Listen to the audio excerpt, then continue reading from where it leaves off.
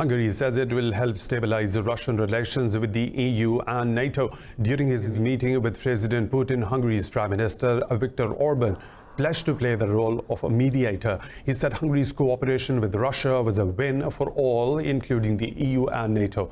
Orban said his country's geographic position makes cooperation with the larger powers unavoidable.